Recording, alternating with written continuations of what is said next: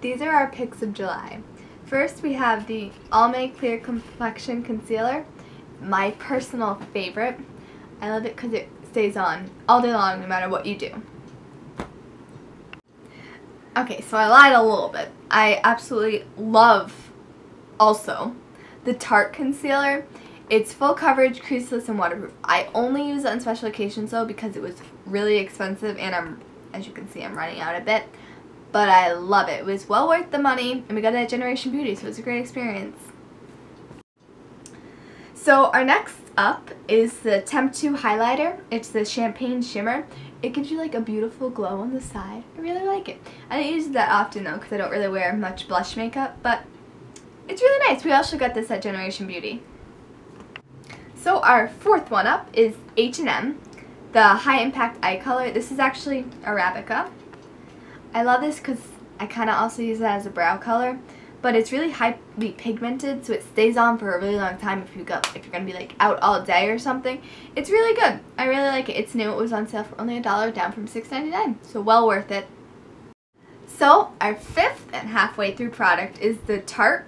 It's as I have it upside down smooth operating clay finishing powder. I really like this. It really mattifies your face and all the makeup you have on it to really stay on this is the Revlon Photo Ready it's like a brightener and an intense highlighter for your eyes. You can use this for a lot of different things. I personally always use the black side and I'm gonna have to like always get this brand because I absolutely love this. This is like, if I had to choose one favorite out of all of these, this would be uh, the top two. This is the Long Lash. It's ultra lengthening and makes your eyelashes really full and really bright and really a lot longer. I actually really love this product. I get it on the clearance rack, but it was worth the few dollars I spent on it. It's the Blackest Black Long Lash brand. It's really good. This is the Soho Kabuki brush. Yes, I said it right. Um, I really use this, honestly, for everything, especially with my um, Tarte powder.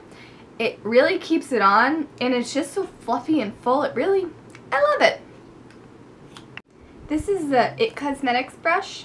It's Heavenly Luxe Complexion Perfection. I love this. I use this mainly for my concealers, either one. But also like if I can't find my Soho brush to do my powder because I lose a lot of my makeup brushes, this side is perfect for that. I love it. It's so soft. It's amazing. We also got this at Generation Beauty, which was a great experience. This is my newest lipstick. It's a matte liquid lipstick by Tatcha Cosmetics. I really love it. I wear this product every single day to work. It really stays on your lips for a long time and it, it looks really good. The only thing I would have to say that I'm not a huge fan of is this part. I think it's a great place for bacteria to grow and I'm a germophobic, total germophobic. So that's the only thing I have to say I don't love about it. This is the Brooklyn color if you're interested. Um, is like a newer artist, but she has other great colors in this line, and I really love the matte liquid part because it really does stay on all day long. Like, subscribe, and keep watching. Peace out.